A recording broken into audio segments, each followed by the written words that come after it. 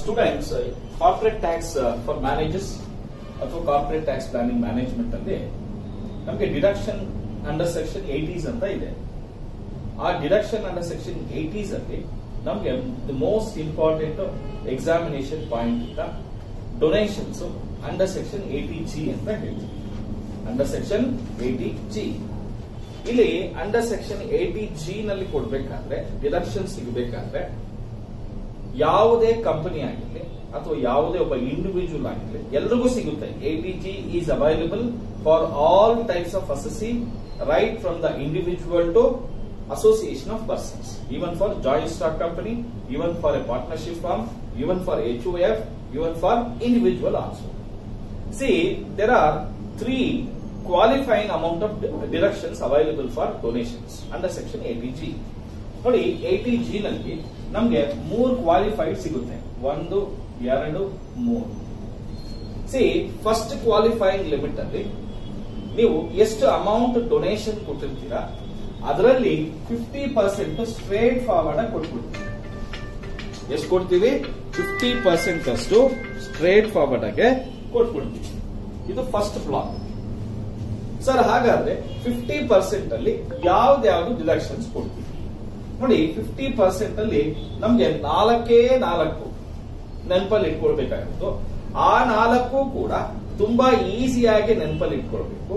ನಮ್ಗೆಲ್ರಿಗೂ Gandhi family ಗೊತ್ತು. ಎಲ್ಲಿಂದ start ಆಗುತ್ತೆ ಅಂದ್ರೆ ಮಹಾತ್ಮ ಗಾಂಧೀಜಿ ಅಲ್ಲ. ಫಸ್ಟ್ ಜವಾಹರ್ಲಾಲ್ ನೆಹರು, ಇಂದಿರಾ ಗಾಂಧಿ, ರಾಜೀವ್ ಗಾಂಧಿ. ಇವು ಮೂರು ಜನ ಜ್ಞಾಪಕ ಇಟ್ಕೊಳಕ್ಕಾಗಲ್ವಾ?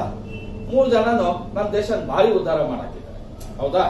ಸರಿ ಫಸ್ಟ್ ಜವಾಹರ್ಲಾಲ್ ನೆಹರು ಮೆಮೋರಿಯಲ್ ಫಂಡ್ಗೆ ಏನಾದ್ರೂ ಡೊನೇಷನ್ ಮಾಡಿದ್ರೆ, ರಾಜೀವ್ ಗಾಂಧಿ ಮೆಮೋರಿಯಲ್ ಟ್ರಸ್ಟ್ಗೆ ಏನಾದ್ರೂ ಮಾಡಿದ್ರೆ ಇಂದಿರಾ ಗಾಂಧಿ ಮೆಮೋರಿಯಲ್ ಟ್ರಸ್ಟ್ಗೆ Rajiv Gandhi ಫೌಂಡೇಶನ್ಗೆ prime minister drought relief fund ಇದೊಂದೇ ಜ್ಞಾಪಕ ಇಟ್ಕೊಳ್ಬೇಕಾಗುತ್ತೆ. Prime minister drought relief fund ಅಂದ್ರೆ ಬರಗಾಲ ಪೀಡಿತ ಫಂಡ್ ಏನಾದ್ರೂ ನೀವು ಡೊನೇಷನ್ ಕೊಟ್ಟಿದ್ರೆ ಪ್ರೈಮ್ ಮಿನಿಸ್ಟರ್ ಡ್ರಾಟ್ ರಿಲೀಫ್ ಫಂಡ್ಗೆ ಜವಾಹರ್ಲಾಲ್ ನೆಹರು ಟ್ರಸ್ಟ್ಗೆ, ಇಂದಿರಾ ಗಾಂಧಿ ಟ್ರಸ್ಟ್ಗೆ ಅಥವಾ ರಾಜೀವ್ ಗಾಂಧಿ ಫೌಂಡೇಶನ್ ಏನಾದ್ರೂ ಡೊನೇಷನ್ ಕೊಟ್ಟಿದ್ರೆ ನೀವು ಎಷ್ಟು ಡೊನೇಷನ್ ಕೊಟ್ಟಿದ್ರೆ ಅದರಲ್ಲಿ ಫಿಫ್ಟಿ ಪರ್ಸೆಂಟ್ ಬರುತ್ತೆ. ಅರ್ಥ ಆಗ್ತಾ ಇದೆಯಾ? ಅಂದ್ರೆ ನಿಮಗೆ ಗ್ರಾಸ್ ಟೋಟಲ್ ಇನ್ಕಮ್ ಅಂತ ಬರುತ್ತೆ ಒಂದು ಕಂಪ್ನಿಗೆ ಏನೇನಿಂದ ಬರುತ್ತೆ? ಇನ್ಕಮ್ ಫ್ರಮ್ ಬಿಸ್ನೆಸ್ ಓಕೆನಾ income from house property income from capital gains income from other sources ಈ ನಾಲ್ಕು ಸೇರಿಸಿದ್ರೆ ಗ್ರಾಸ್ ಟೋಟಲ್ ಇನ್ಕಮ್ ಬರುತ್ತೆ. ಇದರಲ್ಲಿ ನಾವು ಅಂಡರ್ ಸೆಕ್ಷನ್ ಏಟಿ ಡಿಡಕ್ಷನ್ಸ್ ಕೊಡ್ತೀವಿ. ಈ ಏಟಿ ನಲ್ಲಿ ಏಟಿ ಜಿ ಏನದು? Under section eighty G first qualifying fifty percent ಅಂತ ಹೇಳಿ. ಎರಡನೆಯದು ಹಂಡ್ರೆಡ್ ಪರ್ಸೆಂಟ್ ಕ್ವಾಲಿಫೈಯಿಂಗ್ ನೋಡಿ ಫಸ್ಟ್ ಕೇಸ್ ಅಲ್ಲಿ ನೀವು ಒನ್ ಲ್ಯಾಕ್ ರುಪೀಸ್ ಡೊನೇಷನ್ ಮಾಡಿದ್ರೆ ಫಿಫ್ಟಿ ತೌಸಂಡ್ ಡಿಡಕ್ಷನ್ ಸಿಗುತ್ತೆ. ಫಿಫ್ಟಿ ತೌಸಂಡ್ ಮಾಡಿದ್ರೆ ಟ್ವೆಂಟಿ ಫೈವ್ ತೌಸಂಡ್ ಸಿಗುತ್ತೆ. But second block of qualifying amounts ಅಲ್ಲಿ ಹಂಡ್ರೆಡ್ ಪರ್ಸೆಂಟ್ ಅಂದ್ರೆ ನೀವು ಒನ್ ಲಕ್ಷ ರೂಪಾಯಿ ಡೊನೇಟ್ ಮಾಡಿದ್ರೆ ಒನ್ ಲಕ್ಷ ರೂಪಾಯಿನೂ ನಿಮಗೆ ಡಿಡಕ್ಷನ್ ಸಿಗುತ್ತೆ ಏಟಿ ಜಿ ನಲ್ಲಿ.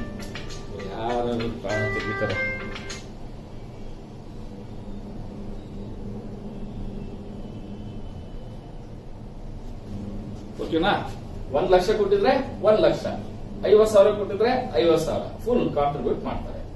ಐ ಮೀನ್ ಡಿಡಕ್ಷನ್ ಸಿಗುತ್ತೆ. ಇದು ಯಾವ್ದ್ಯಾವ್ದದು ಅಂತ ಹೇಳಿದ್ರೆ ಒಂದು ಹದಿನೈದು, ಹದಿನೆಂಟು ಐಟಮ್ಸ್ ಇದೆ. ಸುಮ್ಮನೆ ಲಿಸ್ಟ್ ಹೋಗ್ಕೊಂಡು ಹೋಗ್ತಾ ಇರ್ತೀನಿ.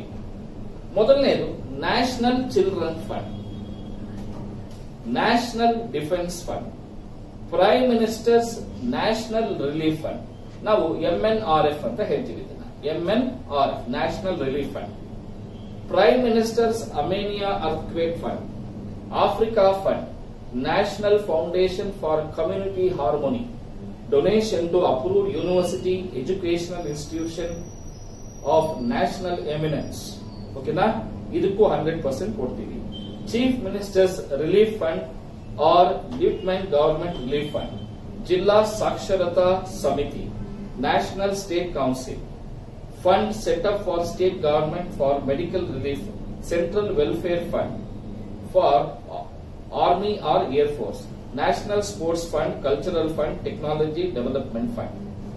Any authority engaged in providing relief to the victims of earthquake in Gujarat. National Trust for Welfare of Persons with Autism, Cerebral Palsy, Mental Retardation and Multiple Disabilities.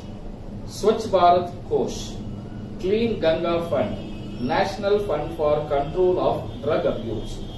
ಇಷ್ಟಕ್ಕೆ ಮಾಡಿದ್ರೆ ನಿಮಗೆ ಹಂಡ್ರೆಡ್ ಪರ್ಸೆಂಟ್ ಅಷ್ಟು amount qualify ಆಗುತ್ತೆ. ಓಕೆನಾ ಕ್ಲಿಯರಾ ಮೂರನೇದು ಬಂದು fifty percent ಏನಿದು? ಫಿಫ್ಟಿ ಪರ್ಸೆಂಟ್ ವಿತ್ ಲಿಮಿಟ್ ಏನಿದು? Fifty percent with limit sir ಏನಿದು ಫಿಫ್ಟಿ ಪರ್ಸೆಂಟ್ ವಿತ್ ಲಿಮಿಟ್ ಅಂತ ಹೇಳಿದ್ರೆ, ನೀವು ಬೇರೆ ಫಸ್ಟ್ ಬ್ಲಾಕ್ ಸೆಕೆಂಡ್ ಬ್ಲಾಕ್ ಬಿಟ್ಟು ಬೇರೆ ಯಾವುದಕ್ಕೆ ಆಗ್ಲಿ ಡೊನೇಷನ್ ಕ್ಯಾಶ್ ಅಲ್ಲೇ ಮಾಡಿರ್ಬೇಕು.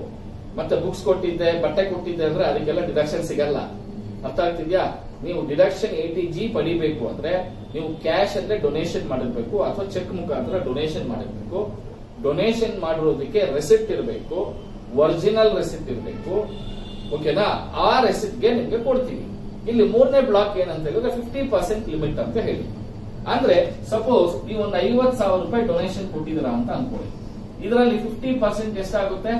ಟ್ವೆಂಟಿ ಫೈವ್ ತೌಸಂಡ್ ಆಗುತ್ತೆ ಓಕೆನಾ ಈ ಟ್ವೆಂಟಿ ಫೈವ್ ತೌಸಂಡ್ ಅನ್ನ ನಾವು ಏನು ಕಂಪೇರ್ ಮಾಡ್ತೀವಿ ಅಂತಂದ್ರೆ ten percent of adjusted gross total income ಎಷ್ಟು ಬರುತ್ತೆ? ಅಡ್ಜಸ್ಟೆಡ್ ಗ್ರಾಸ್ ಟೋಟಲ್ ಇನ್ಕಮ್ ಮೇಲೆ ಟೆನ್ ಪರ್ಸೆಂಟ್ ಎಷ್ಟು ಬರುತ್ತೆ? ಆ amount plus twenty five thousand ಇವೆರಡರಲ್ಲಿ ಯಾವ್ದು ಕಡಿಮೆ ಬರುತ್ತೆ, ಅದನ್ನೇ ನಾವು ಹಂಡ್ರೆಡ್ ಪರ್ಸೆಂಟ್ ಅಲ್ಲಿ I mean fifty percent limit ಅಲ್ಲಿ ಹಾಕ್ತೀವಿ ಸೊ ಹಾಗಾದ್ರೆ ಯಾವ್ದ್ಯಾವ್ದು ಸರ್ ಅದು ಅಂತ ಹೇಳಿದ್ರೆ, ಅದು ಯಾವ್ದಾದ್ರೂ ಆಗಿರ್ಬೋದು. ಅಪ್ರೂವ್ಡ್ ಆಗಿರ್ಬೇಕು. ಏನಾಗಿರ್ಬೇಕು? ಅಪ್ರೂವ್ಡ್ ಆಗಿರ್ಬೇಕು ರಿಜಿಸ್ಟರ್ಡ್ ಆಗಿರ್ಬೇಕು, ಅದು ಅಂಡರ್ ಸೆಕ್ಷನ್ ಏಟಿ ಜಿಗೆ ಕ್ವಾಲಿಫೈ ಆಗಿರ್ತಕ್ಕಂತ ಇನ್ಸ್ಟಿಟ್ಯೂಷನ್ಸ್ ಆಗಿರ್ಬೇಕು. ಈಗ for example Sai study circle ಓಕೆನಾ ಇದು ಕೂಡ ಒಂದು ಟ್ರಸ್ಟ್ ನಮ್ದು ಜ್ಞಾನ ಸಾಯಿ ಎಜುಕೇಶನಲ್ ಟ್ರಸ್ಟ್ ಅಂತ ಇದೆ.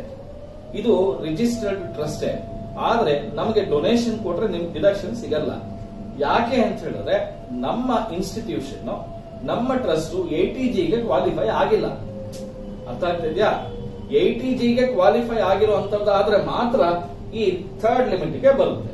ಯಾವ್ದ್ಯಾವ್ದದು ಅಂತ ಹೇಳಿದ್ರೆ ಎನಿ ಚಾರಿಟಬಲ್ ಇನ್ಸ್ಟಿಟ್ಯೂಷನ್ಸ್ ಅಪ್ರೂವ್ಡ್ ನಾನು ಹೇಳ್ತಲ್ಲ approved any authority engaged in town planning providing housing accommodation any authority engaged in promoting the interest of minority community any uh, notified temple, mosque, gurudwara, church, any approved educational institution not of national eminence.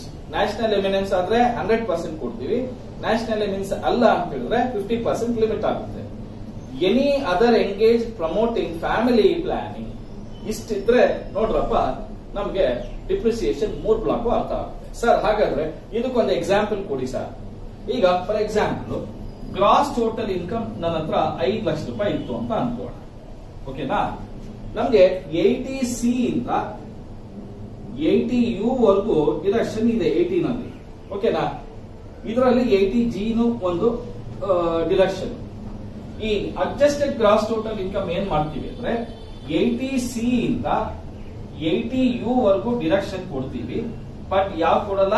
Accept eighty G ಬಿಟ್ಟು ಬಾಕಿ ಉಳಿದಿದ್ದೆಲ್ಲ ಒಂದ್ ಐವತ್ ಸಾವಿರ ಅಂತ ಇಟ್ಕೋಣ ಓಕೆನಾ eighty C ಇಂದ eighty U ಅದರಲ್ಲಿ ಏಟಿ ಜಿ ಇಲ್ಲ. ಅಲ್ಲಿಗೆ total ಎಷ್ಟಾಯ್ತಪ್ಪ? Four lakh fifty thousand rupees ಆಯ್ತು. ಇದನ್ನ ಏನಂತ ಹೇಳ್ತೀವಿ? ಎ ಜಿ ಟಿ ಐ ಅಂತ ಹೇಳ್ತೀವಿ. ಅಡ್ಜಸ್ಟೆಡ್ ಗ್ರಾಸ್ ಟೋಟಲ್ ಇನ್ಕಮ್ ಈಗ ಇಲ್ಲಿ ಇಪ್ಪತ್ತೈದು ಸಾವಿರ ರೂಪಾಯಿ ಫಿಫ್ಟಿ ತೌಸಂಡ್ ಡೊನೇಷನ್ ಮಾಡಿದರೆ ಅದರಲ್ಲಿ ಫಿಫ್ಟಿ ಪರ್ಸೆಂಟ್ ಎಷ್ಟು? ಇಪ್ಪತ್ತೈದು ಸಾವಿರ. ಈಗ ten percent of adjusted gross total income ಅಂದ್ರೆ ಫೋರ್ ಲ್ಯಾಕ್ ಫಿಫ್ಟಿ ತೌಸಂಡ್ ಮೇಲೆ ಟೆನ್ ಪರ್ಸೆಂಟ್ ಎಷ್ಟಾಯ್ತು? ಫಾರ್ಟಿ ಫೈವ್ ತೌಸಂಡ್ ಆಯ್ತು ಇವೆರಡರಲ್ಲಿ ಯಾವ್ದಪ್ಪ ಕಡಿಮೆ ಇದೆ? ಸೊ ಟ್ವೆಂಟಿ ಫೈವ್ ತೌಸಂಡ್ ಕೊಡ್ಬೋದು. ಅರ್ಥ ಆಗ್ತಿದ್ಯಾ? ಸಪೋಸ್ ಇದು ಬರೀ ಒನ್ ಲ್ಯಾಕ್ ಇತ್ತು ಅಂತ ಇಟ್ಕೊಳ್ಳಿ. ಇದು ಬರೀ ಫೈವ್ ತೌಸಂಡ್ ಇತ್ತು ಅಂತ ಇಟ್ಕೊಳ್ಳಿ. ಆಗ ಎಷ್ಟಾಗುತ್ತೆ? ನೈಂಟಿ ಫೈವ್ ತೌಸಂಡ್ ಆಗುತ್ತೆ. ಈಗ ಅಡ್ಜಸ್ಟೆಡ್ ಗ್ರಾಸ್ ಟೋಟಲ್ ಇನ್ಕಮ್ ಮೇಲೆ ನೈಂಟಿ ಫೈವ್ ತೌಸಂಡ್ ಮೇಲೆ ಟೆನ್ ಪರ್ಸೆಂಟ್ ಎಷ್ಟಾಗುತ್ತೆ? ನೈನ್ ತೌಸಂಡ್ ಫೈವ್ ಹಂಡ್ರೆಡ್ ಆಗುತ್ತೆ. ಯಾವ ಕಡಿಮೆ ಇದೆ? Nine thousand five hundred deduction ಕೊಡ್ತೀವಿ. ಅರ್ಥ ಆಗ್ತಾ? ಸೊ ಇದು ಥರ್ಡ್ ಬ್ಲಾಕ್ ಥರ್ಡ್ ಬ್ಲಾಕ್ ತುಂಬಾ important first and second we can easily remember ಈಸಿಯಾಗಿ ನೆನಪಲ್ಲಿ ಇಟ್ಕೊಳ್ಬಹುದು ಈಗ ಈ ಇದ್ರ ಬೇಸಿಸ್ ಮೇಲೆ ಒಂದಷ್ಟು ಕ್ವಶನ್ಸ್ ಮಾಡೋಣ. ಆಗ್ಬೋದಾ?